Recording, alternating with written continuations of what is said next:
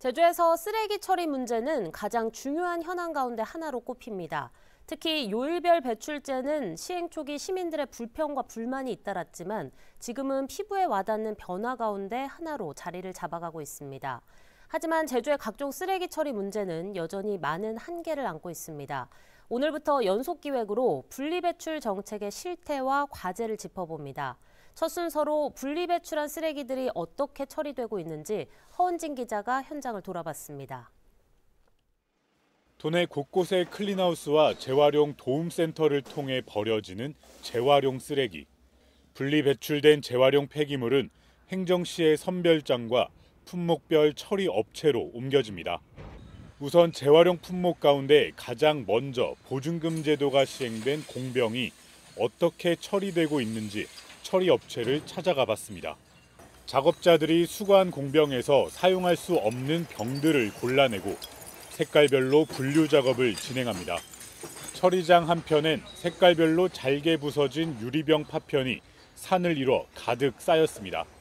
공병 보증금 반환 제도가 소주와 맥주병 등에 한정돼 있다 보니 잡병이라 불리는 각종 유리병은 사실상 파쇄만이 유일한 방법입니다. 이렇게 잘게 부서진 병은 다른 지역의 병을 만드는 공장으로 보내집니다. 이곳에 모이는 공병은 연간 7,500톤. 이 가운데 30%가량인 2,000톤 이상이 파손과 오염 등으로 재활용할 수 없어 도내 매립장으로 다시 옮겨지게 됩니다.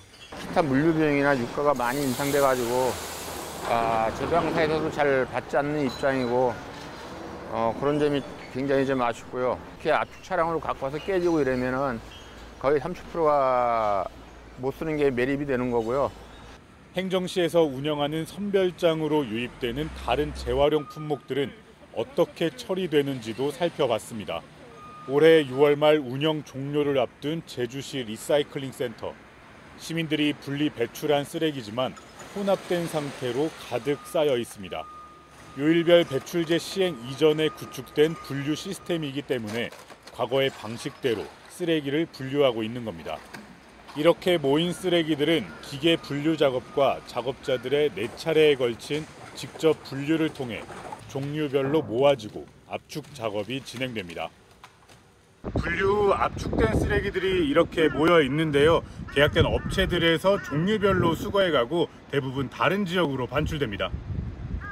제주에서는 재활용의 중간 과정인 압축 작업이 사실상 최종 단계나 다름없는 상황입니다.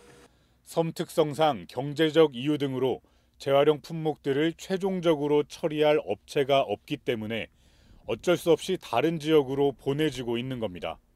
네, 폐기물 발생지 책임 원칙을 실현하고 재활용품 육성 기반 구축을 위해서 제주 어, 자원순환 클러스터를 조성하려고 하고 있습니다. 이러한 자원순환 단지, 가 조성되면 도내에서 발생하는 폐자원을 재활용할 수 있는 용량이 늘어나고 폐기물 제로 및 순환 경제로 전환하는데 각종 쓰레기로 몸살을 앓고 있는 제주지만 좀처럼 그 양이 줄지 않고 도내 곳곳의 매립장은 포화를 앞두거나 이미 운영이 중단된 상황. 단순히 쓰레기라는 인식을 넘어 이를 자원화하고 제대로 활용할 수 있는 방안 마련이 시급해 보입니다. KCTV 뉴스 허은진입니다.